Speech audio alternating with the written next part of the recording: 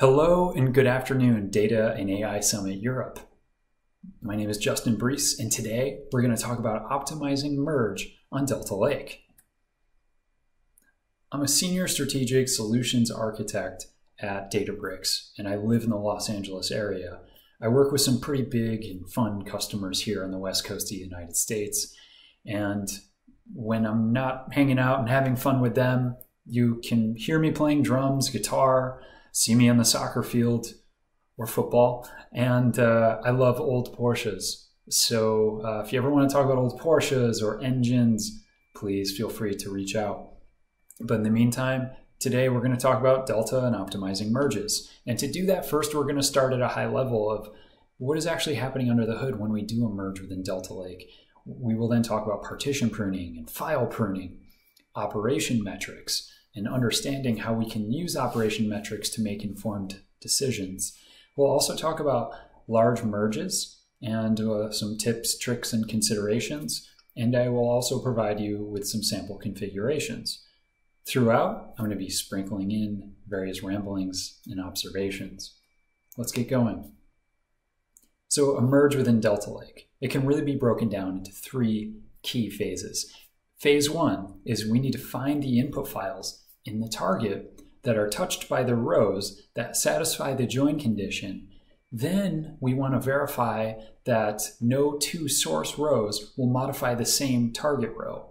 And we do this via an inner join.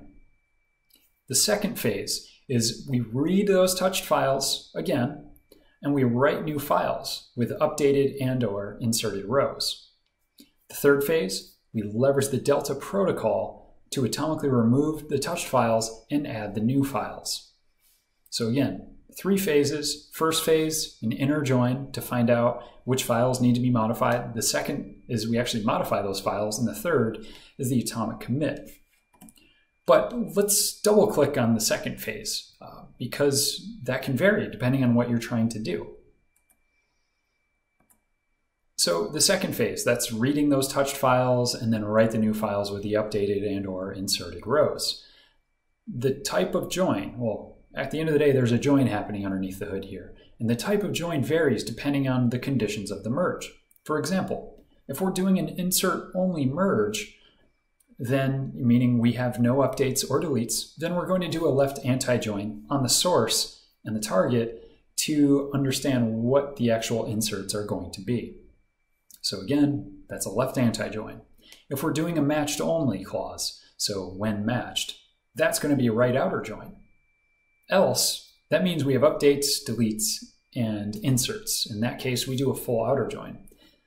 The consideration is because if, if you know Spark well, you can understand that a left anti-join can be broadcasted, so can a right outer join. As, but a full outer join may not be broadcasted. So if we understand, oh, now there things can be broadcasted. Sounds good. So merge is really about these three phases. Phase one, find the files that I need to do something to. Phase two, do something to those files. And phase three, make the atomic commit. Now that we understand these three phases, we can now figure out how to optimize each of them.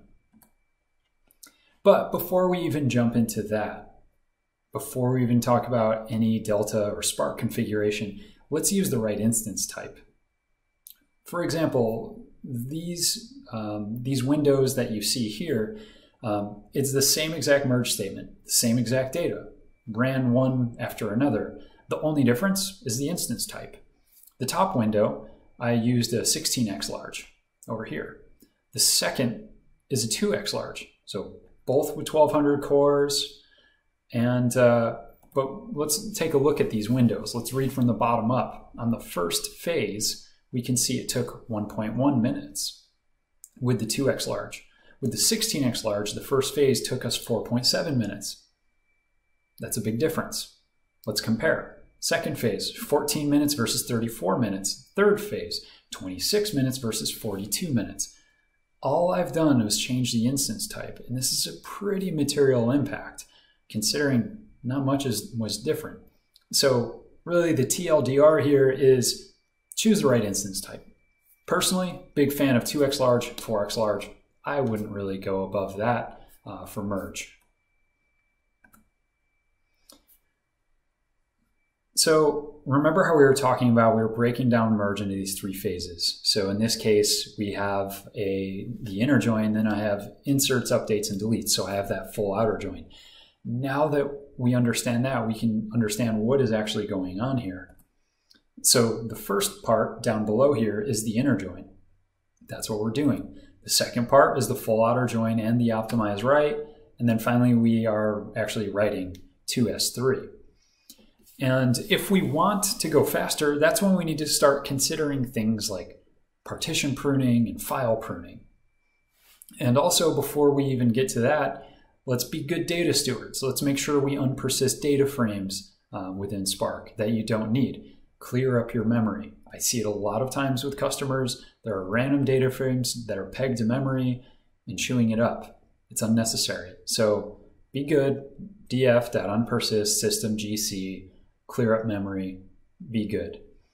Um, the other things we need to think about is depending on the use case, right? If it's write optimized uh, or if we're uh, reading optimized, we may need to consider changing the Delta file size. By default, the Delta file size is one gigabyte. But if we're doing a lot of uh, writes, for example, we need to distribute data throughout many, many small files versus coalescing them into one larger or into larger one gigabyte size chunks. So if it's write intensive, don't be scared. You can use 32 megabytes or less of a file size. I wouldn't really go less than 16 megabytes, but you know, at the end of the day, you have your own free will. For read intense workloads, one gigabyte, the default file size is more than enough. And yes, we are working on changing that for you uh, in the future automatically, depending on your use case, modifying those Delta file sizes. Also, normal Spark rules apply. Partition size, shuffle partitions. We're not going to dive into those today, but feel free to check out uh, either some sessions during Spark Summit on that or uh, Daniel Tomes on YouTube, a great friend and a great peer of mine, has some awesome hour and a half long just helping you demystify what's going on in Spark under the hood and really gets into the nitty gritty on partition size and shuffle partitions. Prunes, not just the delicious juice that my grandparents love.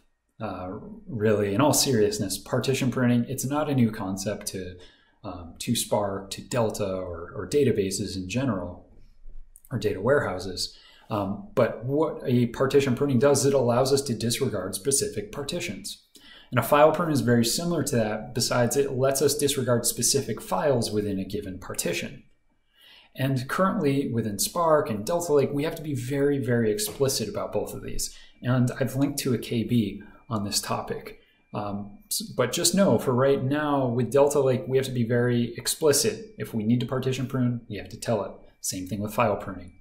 And we're going to go into an example in a minute on that. Um, we are also going to improve this in the future to be more auto magic, but the reality is right now, be explicit. And when we can, we want to prune on the left, so we prune in our source, and we want to prune on the right in the target.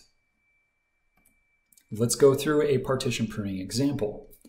So all I'm doing here is within my source data frame. Uh, let's assume my target is partitioned by date. So I want to go into my source and I want to say list all the dates in the source data frame. Then I want to make a string of those dates. So now all that I'm left with is, is a long string of dates. 2020-10-12, comma 2020-10.18, for example.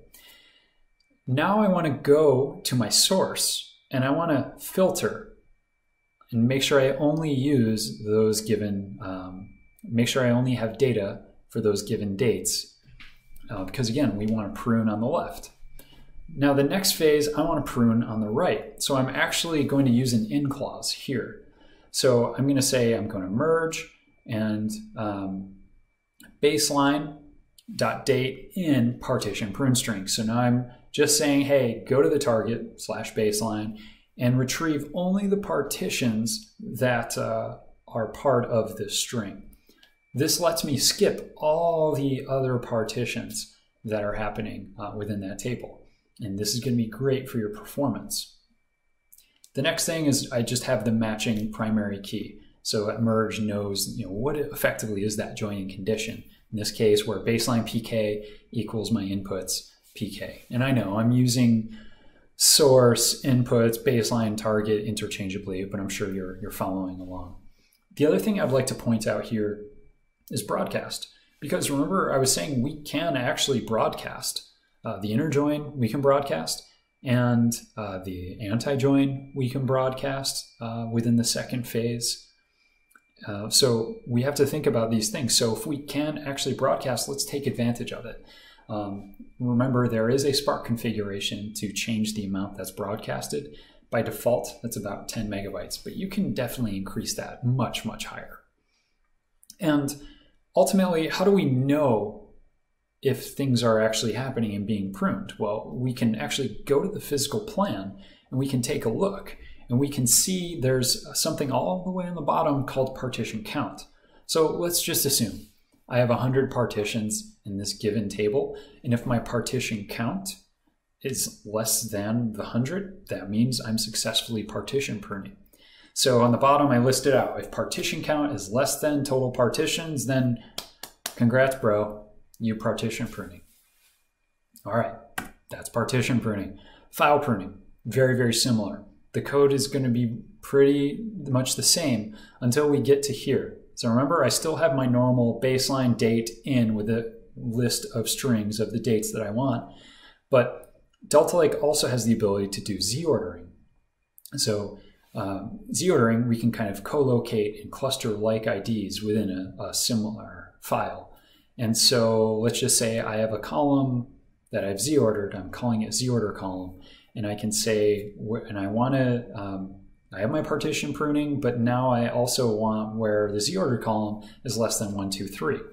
So what we do for that merge is we're going to the target and we're actually uh, querying the uh, column statistics to look where um, the min-max range, if 123 falls into that, and we retrieve those files accordingly. So we've, we've partition pruned, so we're grabbing only a subsegment, and now we're file pruning. We're grabbing a segment or a subsegment of the subsegment. So this just allows us to be super efficient and fast with our merges.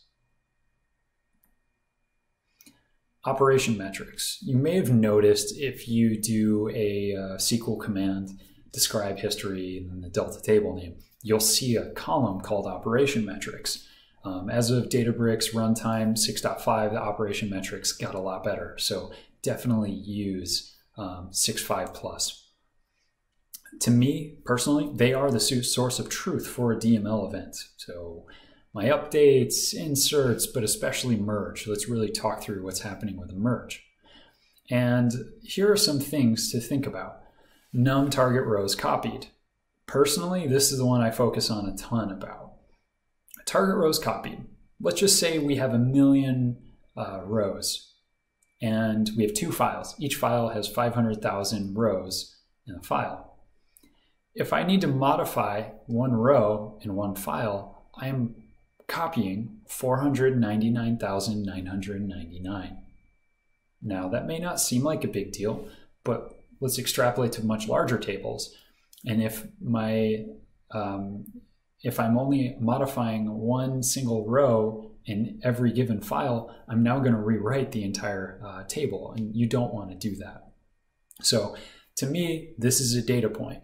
I like to think, do what the num target rows copied relative to the total amount of rows in the table, if it gets pretty high, to me, that's a good data point, and we'll actually talk about that in the next slide. Num output bytes.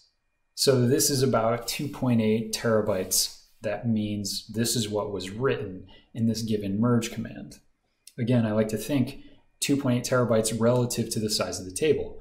If it's 100 terabytes, I mean, we're talking about 2%. If it's uh, 10 terabytes, we're talking about 27%. So we just need to keep uh, these, these track of these type of things. The num target files added. Uh, this is also a good one right there. It's about just under 900,000 files that have been added. Um, if I'm using smaller Delta file sizes, like I was talking about before, of 32 megabytes, again, not necessarily a big deal, but it's a data point. And then finally, num target rows inserted, updated, deleted. These are crucial because you're expecting to insert, update, or delete within each micro batch or each batch that you're doing. So you should really understand do these uh, equal out your expectation of rows inserted to rows um, actually inserted in delta and understand if there is a difference. So really, I mean, my takeaway is if I look at inserted, updated, and deleted, I have 1.2, 1.3, and about 900,000. So I've got about 3.2 or 3.3 million rows. So the TLDR is to modify 3.3 million rows. I'm copying, um, yeah, I'm copying billions. So maybe that to me is telling me perhaps I need to lay out my data differently on disk. This is where I was talking about. If my num target rows copied is insanely high relative to the total amount of rows in the entire table, this tells me that maybe we need to partition differently. Maybe we need to leverage a Z order.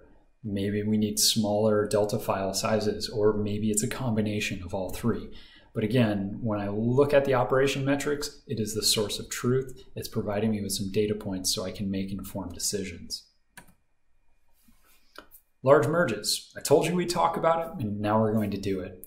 So me, personal opinion, when you have a large table, we're talking about many terabytes of data, give each table its own S3 bucket. And if you're doing a structured stream, give that checkpoint its own S3 bucket as well.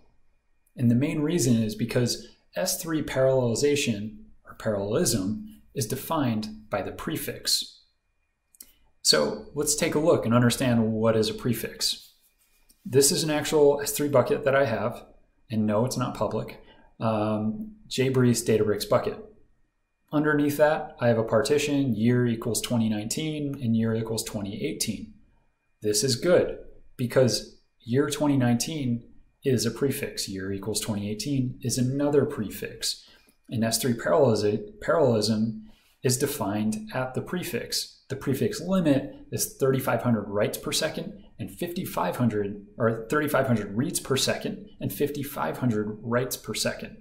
So each um, prefix here, which is also a partition, can get these limits. So that means in total, this table right now, I can do 7,000 reads per second and 11,000 writes per second.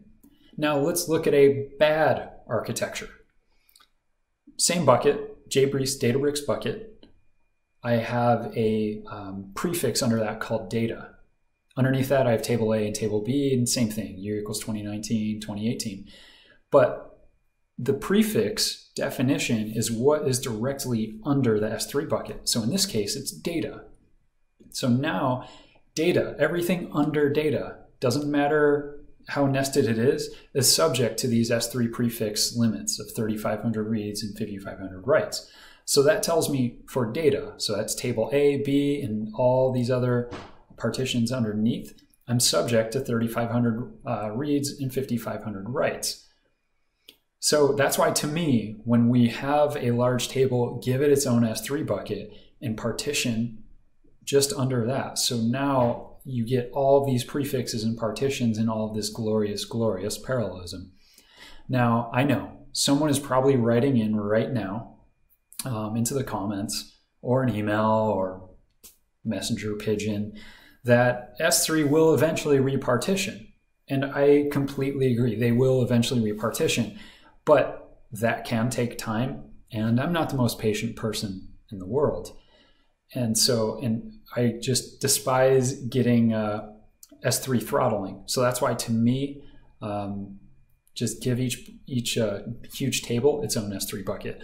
The alternative you can do is also reach out to your AWS TAM. They are super helpful in helping you pre-partition.